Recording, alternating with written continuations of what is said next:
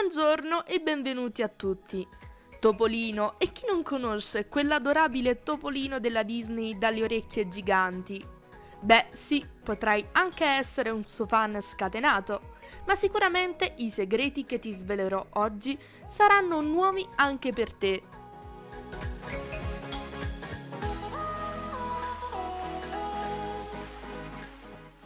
Ebbene sì, nonostante possa sembrare assurdo, anche il personaggio di Topolino è ispirato ad un topo realmente esistito.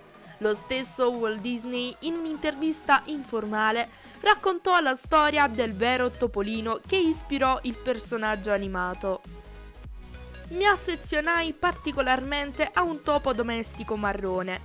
Era un piccoletto timido. Toccandolo sul naso con la matita, lo addestrai a correre all'interno di un cerchio nero che avevo tracciato sul mio tavolo.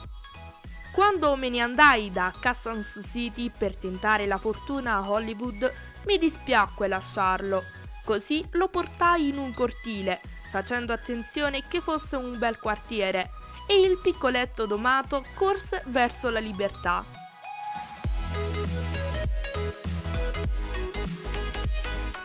Quando nella primavera del 1928 Walt Disney ideò il piccolo topo, simile e opposto al gatto Felix che a quei tempi domava quasi incontrastato la scena del mondo dell'animazione, pensò bene di battezzarlo Mortimer Mouse. Si racconta che fu proprio la moglie a suggerirgli che il nome forse era un po' troppo lugubre per i bambini, spingendo Walt ad optare per il definitivo Mickey Mouse.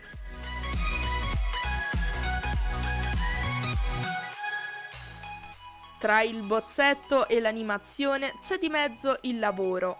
In questo caso un gran lavoro, tutto fatto a mano.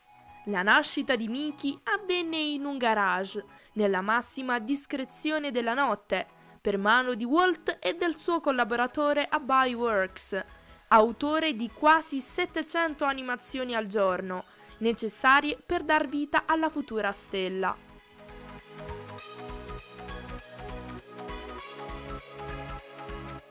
Il primo corto in cui appare Topolino si chiama L'aereo impazzito, cui segue il 18 novembre 1928 il celebre Steamboat Willie, vagamente ispirato a una pellicola di Buster Keaton.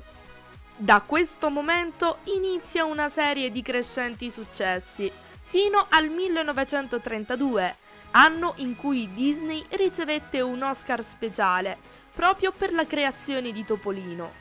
Fu questo episodio a destare l'attenzione di tutto il mondo su questo personaggio, che di lì a poco sarebbe sbarcato in Italia con un giornale illustrato tutto per sé.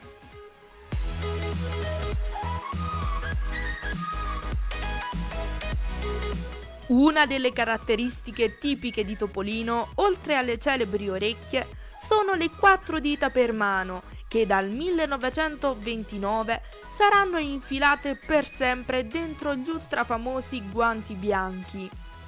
Se siete tra quelli che si chiedono perché abbia quattro dita anziché cinque, la risposta è semplice. In questo modo era più facile disegnarne i movimenti. I guanti servivano invece a distinguere meglio le mani bianche dal resto del corpo nero.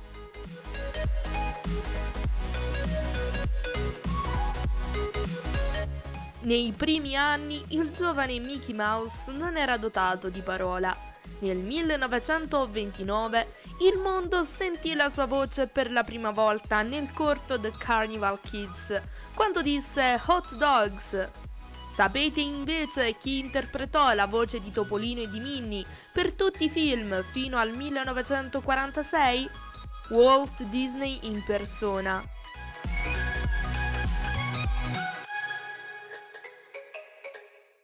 Proposito di Minnie, nota all'inizio come Minnie Mouse. Ebbene no, se ve lo state chiedendo, i due non si sono mai sposati, o quantomeno mai nello schermo, perché Disney disse in qualche circostanza che lo erano.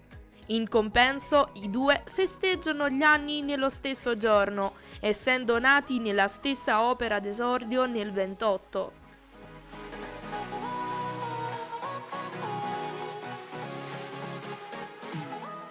Quando uscì nel 1933 il primo orologio da polso con le lancette di Mickey Mouse, costava 3,75 dollari. Oggi lo stessissimo orologio, se originale, è valutato intorno ai 6.000 dollari. Solo un esempio della potenza di Topolino, considerata da Forbes il personaggio di fantasia più redditizio della storia. Nel 2004 Mickey generava da solo ricavi di 5,8 miliardi di dollari all'anno.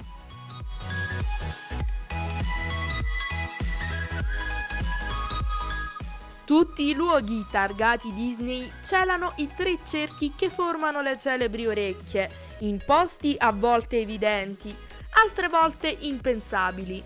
Stessa cosa per le pellicole della Disney, dai classici in poi, dove quasi sempre figurano le celebri orecchie nascoste. Si stima che esistano almeno mille topolini nascosti, ma il numero esatto è sostanzialmente un mistero.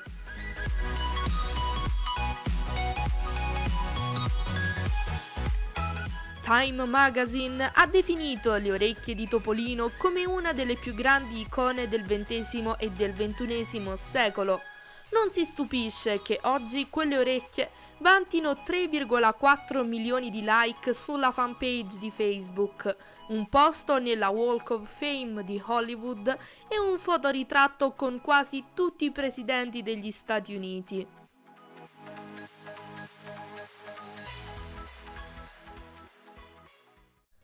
Con questo concludiamo. Se il video ti è piaciuto allora lascia un bel like, iscriviti al mio canale e noi ci vediamo in un prossimo video. A presto!